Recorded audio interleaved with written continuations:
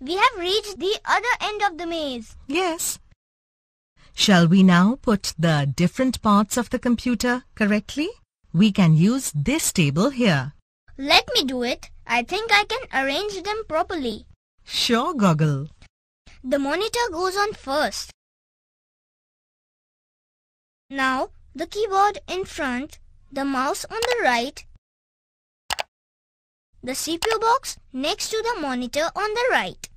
Let's place the printer to the left of the monitor. Okay, Mom. The printer on the left side of the monitor and the speakers in front of the monitor. There. Good job, Goggle.